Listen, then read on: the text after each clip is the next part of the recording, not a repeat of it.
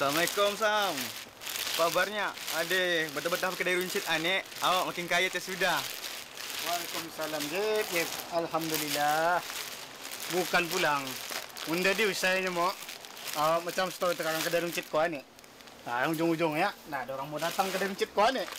Eh, awak benar juga kau tu ah. Dulu kau ni Eh, ini macam ni bah. Ani masa ni rajin. Dulu kau ni bergarai tepi jalan yang sering jalan. Ah, macam-macam kau jual. Masa ni, aduh, antah-antah tahun depan supermarket kali pakah. Kaya-kaya. Intelijen kau ni. Ah, tu tanya orang, Jep. Kalau rajin usaha ni ah, tangga kejayaan.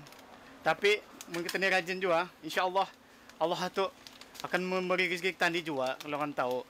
Tapi ah, mun nganya gue ni pang sam. Nanti cakap. Tamnya dalam hadis kita tahu bernagi tu sumber rezekinya 9 per 10. Eh, peribahasa tu kadang ni. Au, banyak itu sama. Ganya, mun kau kan mau kau punya gedagangan laku, bisnes semua ni macam pelanggan mun putus-putus. Ah, apa ni peribahasa? Bagai air bertali arus. Ah, ada caranya tu. Eh, apa cara itu, Jeb? Ingin je pun tahu ah. Boleh tahu kau ni ah, kadang-kadang pun lihat intelijen juga. Ingat kau dulu, tentang subjek commerce kali. Eh, anda kau tu tu. Ayah Rike, apa tu lagi? Bakal Linda. Di belakang tu tadi anu nah. Runing nah. Mana okey?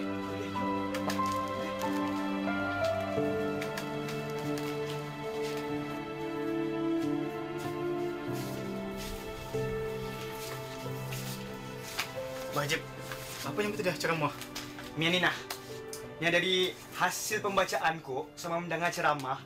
Mun kita ni kalau berdagang mesti lurus. Ha, jangan dikurang-kurangi. Kalau boleh lebihi sikit. Bersedekahnya orang. Ibaratkan menimbang ni sekilo tapung, jangan cun-cun.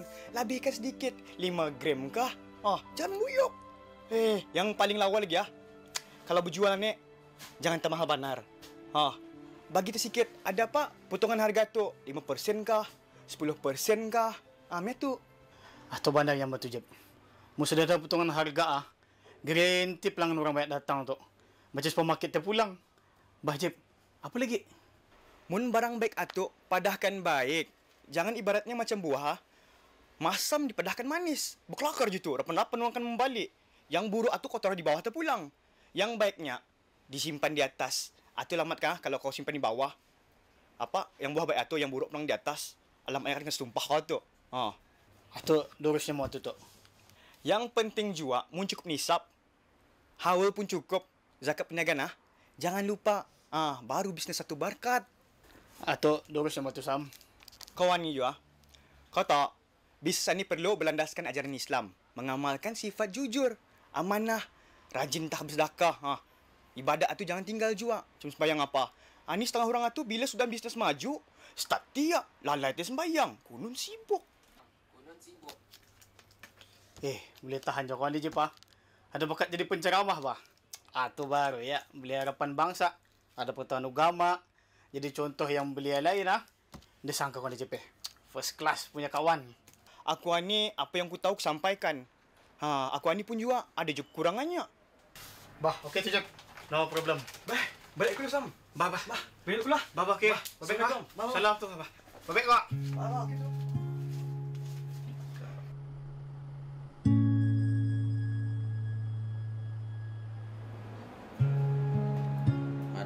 sedekah itu boleh menolak bencana dan memanjangkan umur. Oh, rupanya. Hebat persedekahan ya. Pak. Itu bapak macam kita. Kenapa bang? Siok sudah. Bapa membaca kitab panik. Apa kau keropak kanan ya? Ini pak eh. Anu pak. Mungkin kita dapat menerangkan deh. Apa kan maksud ekonomi Islam ni? Ih, dalam pertanyaanmu ni Wang. Ha, sampaikan bertanyakan perekonomian Islam. Ha, apa kan membuat tesis kau kah? Ha, oh, dalam bulan puasa ni Wang. Baik jauh tani ekonomi sedikit. Ini pak eh. Sekadar kan menambahkan pengetahuanku. Mun nganya pandai berbisnes. Tapi anda tahu tentang ekonomi cara Islam. Anda je lengkap kan tu pak? Anda je. Atu benar tu. Usahawan muda macam kau ni tah. Bapa salut ni. Macam mana lah Wang ah? Setahu bapa Wang ah, ini secara ringkas saja ni ah. Bapa mu ni bukan je bersekolah tinggi.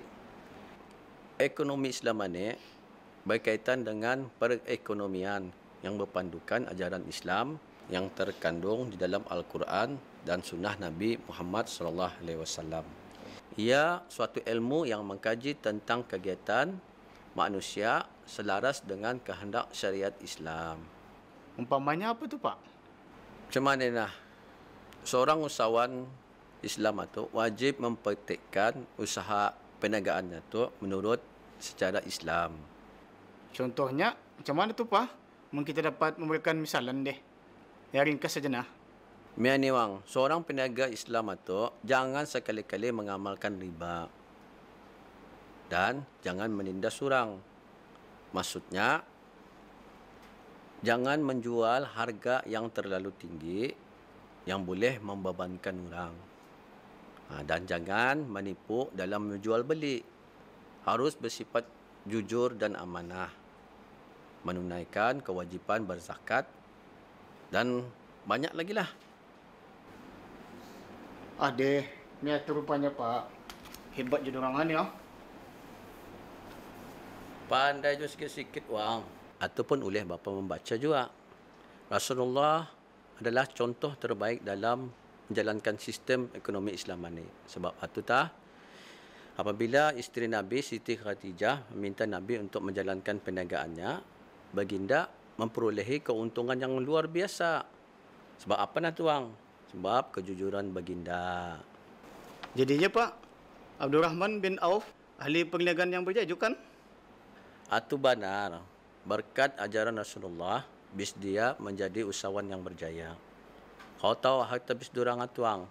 Kalau kan dinilai-nilai banyak, tapi iman bis dia tu mengatasi dari segala-galanya.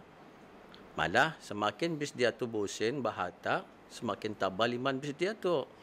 Semakin banyak ibadat bis durang, semakin banyak bis durang itu bersedekah. Itulah di antara tujuh hala ekonomi Islam. Dikongsi sama kesenangan dengan saudara-saudara Islam yang kurang berkemampuan dan susah. Dan sebab itu tah bagi yang berharta wajib dikenakan zakat harta. Alhamdulillah. Ni tu rupanya pak. Bapeh, kan tidur dulu. Sekarang dia awal bangun kan bersahur. Bapa? Wah, Assalamualaikum. Assalamualaikum.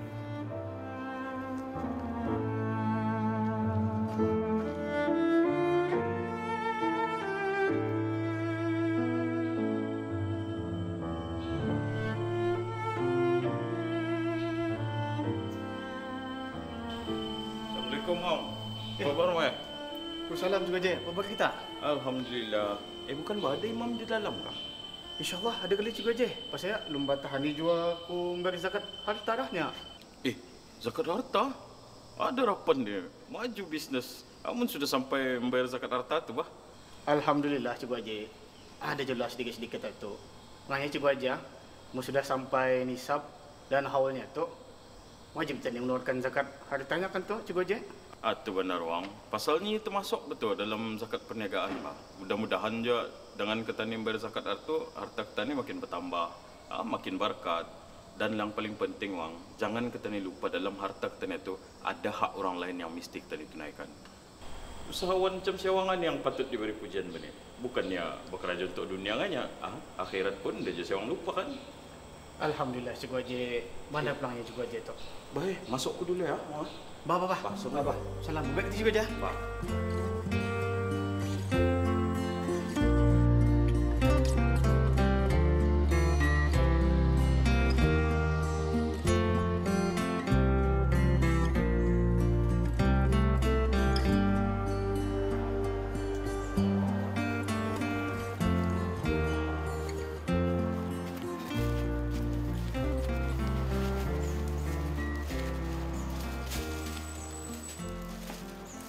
Sam.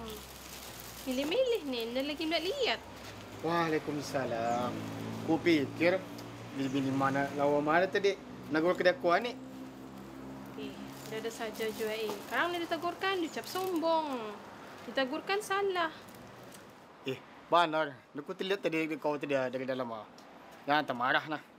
Bakal tidak, aku terbelanja minum. Eh, belanja apa? Bulan puasa jua ni. Kan kena tangkap masuk newspaper. Agak tu kita, kadang-kadang jua deh. Ih, astah. Benar jua. Bulan puasa jadi benar. Aku payah ni kalau sudah melihat momen ya. Sebab-sebab aku lupa bah. Kita tundangnya tu, muni indah menyakat, indah sah.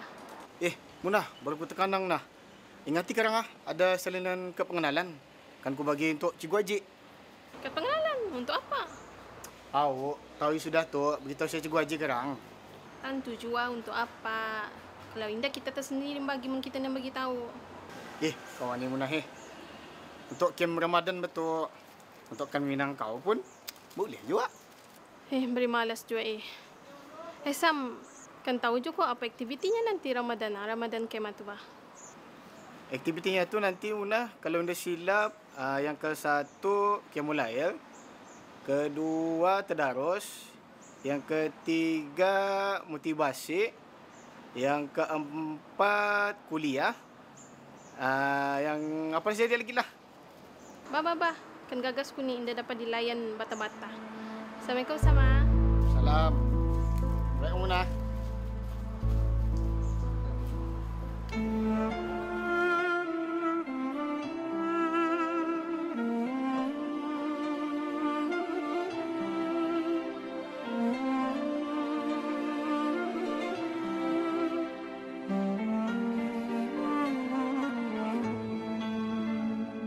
Ku menantimu. Saban waktu bangkit jiwaku Kau seluruh hatiku.